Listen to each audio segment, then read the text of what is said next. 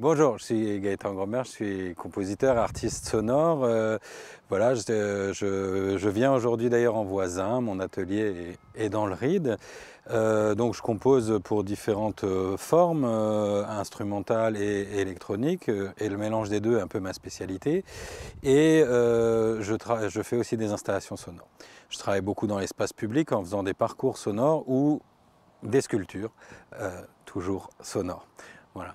Euh, qu'est-ce qu'on peut dire de mon parcours? Ben, les, œuvres sont jouées un peu partout. Euh, ça fait, ça fait 20 ans que j'exerce à peu près. Voilà. L'œuvre que je présente pour la Biennale d'art contemporain de Célestat s'appelle euh, Unedo.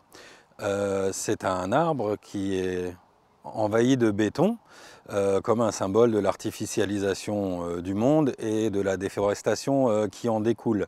Toutes les 1 seconde 38, il émet un bip, qu'on entend là, et à chaque bip, en fait, les forêts du monde auront perdu l'équivalent de la superficie du parc des remparts dans, dans lequel l'œuvre est exposée. Euh, voilà, et de cet arbre mort, donc, jaillit un arbre, euh, un petit arbuste bien vivant, euh, qui est un arbousier, donc Arbutus unedo en, en latin, d'où le titre de l'œuvre, unedo. cet arbre est une plante pyrophile, c'est-à-dire que la dormance des graines est levée par un incendie. C'est une plante qui va recoloniser après une catastrophe. Voilà, euh, c'est un peu le phénix des plantes et c'est ce symbole de la capacité qu'a la nature de survivre à la catastrophe.